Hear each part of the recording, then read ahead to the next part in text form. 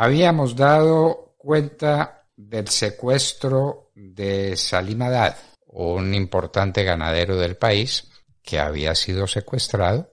A los ganaderos les están pegando muy duro por el hecho de hacer patria, de construir país, de servirle a los intereses de la nación como le están sirviendo, se han venido encima de ellos y entonces en la reforma tributaria les van a dar una paliza enorme eh, y eh, ahora vienen pues los secuestros que se han mantenido a la orden del día, les están invadiendo las tierras y paliza a los ganaderos porque le van a poner impuestos, recuerden, a las bebidas azucaradas y las eh, bebidas azucaradas vienen de la leche que producen las vacas y las vaquitas son las que están siendo perseguidas en este país. La política de paz de Petro llegó al Congreso. Siempre se habló de una aplanadora que tenían las mayorías petristas en el Congreso. De Mar Córdoba nos ha dicho un día y otro día que él no ve la tal aplanadora, que él presencia, siente, toca una realidad muy distinta.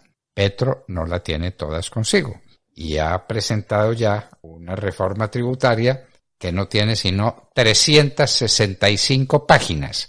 ¿Cómo le parece leerse uno 365 páginas con la mala literatura que tienen los economistas, empezando por el señor ministro de Hacienda? 365 páginas para 96 artículos.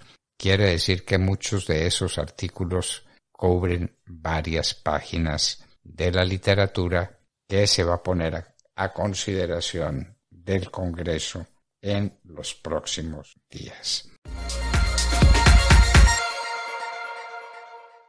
Presidente, muchísimas gracias. Presidente, mire, manifestar la preocupación a propósito de la cifra que se conoció hoy sobre la inflación a septiembre en Colombia. 11.44%. El año todavía no termina. Adicionalmente vemos que en las proyecciones económicas para el 2023 se habla de una recesión mundial, recesión en Europa, recesión en Estados Unidos. Por eso, presidente, preocupa sobremanera que pretendan adelantar el debate en las comisiones terceras a pupitrazo en este Congreso. Esta reforma que está planteando el presidente Gustavo Petro, a mi juicio, es una reforma inconveniente e inoportuna. Por un lado, desestimula la inversión y por otro lado, frena el crecimiento económico y la generación de empleo. En unos momentos que son bastante críticos, no solamente para el país, sino para el mundo entero. Y adicionalmente, presidente, relacionado también con el tema de la inflación, pues vemos que este debate no lo pudimos dar aquí en esta comisión porque la señora ministra Corcho no quiso venir cuando fue citada. Pero hay tres impuestos que según el propio Ministerio de Hacienda incrementarán la inflación, que ya es muy alta, en 1.31 puntos porcentuales adicionales a los que ya tenemos. Presidente, no se apaga un incendio echándole gasolina. Muchas gracias. Yo quiero expresar que considero que no es pertinente mañana aprobar la reforma tributaria. Que sea pupitrazo o no, pues vamos a verlo mañana. Los ministerios, los sectores aquí no intervinieron. Yo quiero hacer un llamado a los representantes, a los senadores, a usted, presidenta Catherine Miranda, de la, de la Comisión Tercera Cámara, a usted, presidente del Senado, Gustavo Bolívar, de la Comisión Tercera de Senado, a que recordemos que cuando se presentó este proyecto de ley por parte del gobierno, lo que dijeron centros de pensamiento, gremios académicos, expertos en economía, es que acababa la economía colombiana. No era una reforma tributaria cualquiera, como muchas de las que hemos tramitado aquí. Aquí hemos tramitado eh, reformas tributarias inclusive antes de que se acabe el año, a la carrera, para que se pueda implementar el año siguiente como debe ser. Pero estamos en el mes de octubre. Esta reforma tributaria no tiene que ser aprobada mañana en primer debate. Tenemos hasta diciembre para aprobarla, pero se quiere mañana eh, aprobar. La noticia de esta semana de la inflación no puede ser peor. Las noticias de recesión económica siguen apareciendo por expertos mundiales. La disminución del consumo de hogares en Colombia es una realidad. Entonces aquí estamos hablando de que Claro, se hicieron audiencias. Los ponentes y los coordinadores ponentes han estado discutiéndola en, en, en muchas sesiones, pero de el proyecto de ley radicado a la ponencia hay unos ajustes y unos cambios. Yo creo que ha mejorado, pero tenemos que tener la capacidad de entender esos cambios.